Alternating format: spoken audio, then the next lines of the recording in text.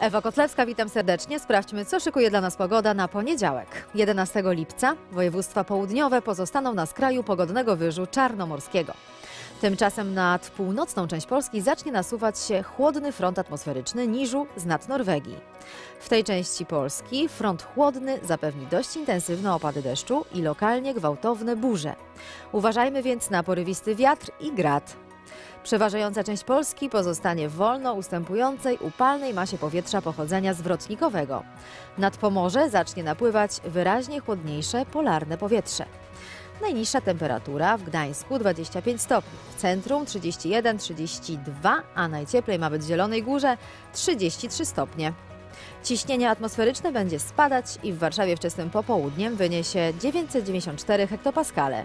Zachodni i południowo-zachodni wiatr będzie umiarkowany, a podczas burz dość silny. Biometr wszędzie niekorzystny. Dziękuję za uwagę. Do usłyszenia.